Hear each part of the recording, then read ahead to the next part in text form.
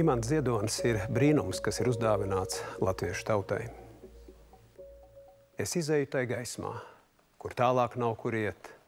Brīvs putns esmu gaisā, man kapu nerociet. Varbūt es nolaidīšos kādreiz, varbūt mazliet. Varbūt, ka zilos viršos vai ceriņos, kas zied.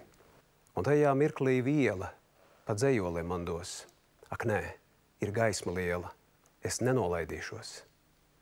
Un tad jau dzējas nebūs, būs tīra gaisma viena.